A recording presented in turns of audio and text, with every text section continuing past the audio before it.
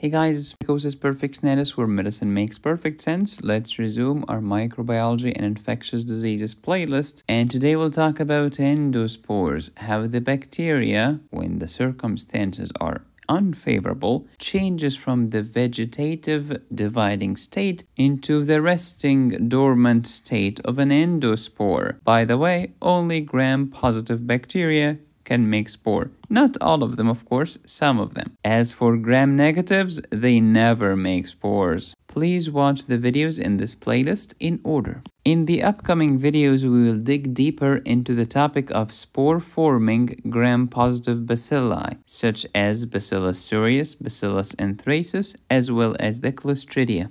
Only some gram-positive bacteria make spores under some unfavorable conditions, but as for gram-negatives, they never make spores. So here's the bacteria in the dividing state when everything is hunky-dory. But when food gets scarce, when the environment becomes unfavorable, the bacteria will surround itself by a coat and now it's called a spore. The spore is hard and it has calcium bound to dipicolinic acid. Your bones have calcium, your bones are strong.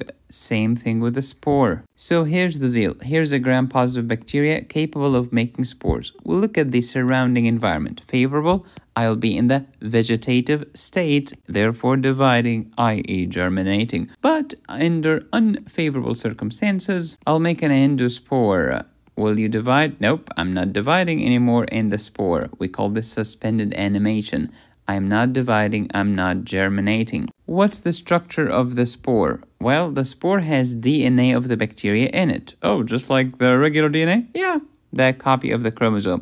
Complete copy, not half, not sorta kinda ish. Everything in the chromosome is still here. We also have in the spore the bare minimum of essential proteins and ribosomes and we have calcium bound to dipicolinic acid. From the outside to the inside, first we have an outer protein coat which is like keratin, followed by two peptidoglycan layers, followed by inner membrane. These two layers are called the cortex because they are on the outside.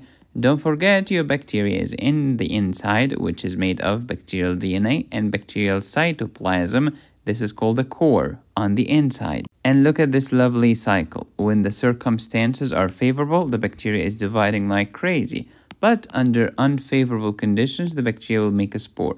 When the conditions go back to be favorable, then the bacteria will go back to be in the vegetative state. Let's make a spore. How long does that take? About 7 hours. Why did you do that? Unfavorable environment. What do you mean? Decreased nutrition, food scarcity, especially alanine. So the bacteria will kick every toxin and antibiotic out and will become a spore made of the layers that we talked about. Don't forget the calcium dipicolinic acid. But hey, Medicosis, the circumstances are favorable now. What should you do? Well, the spore is gonna go to hell. It's gonna absorb water, it's gonna swell, and you will disrupt the outer protein coat and before you know it we're back at the vegetative state because now we have a robust amount of nutrition and this will take us one and a half hours. Oh, by the way, the bacteria can remain dormant inside the spore for centuries. Did you know that, Cody? Read a book. Here's the structure of the spore as we have discussed. The function is to protect the bacterial DNA from heat, chemicals, and enzymes. Remember when the bacteria used to have an outer layer of peptidoglycan and inner layer of uh, cytoplasmic membrane? These are the same layers. They just changed to become layers in the cortex of the spore. Does the spore have any diagnostic significance? Yes, indeed. If you can identify a spore inside your cell, this is very diagnostic. If you happen to look at a spore under the microscope, you will find them bright and refractile. If you like this video, you will adore my antibiotics course, which will equip you about robust knowledge on pharmacology, especially antibacterials, antivirals, antifungals, and antiparasitic medications.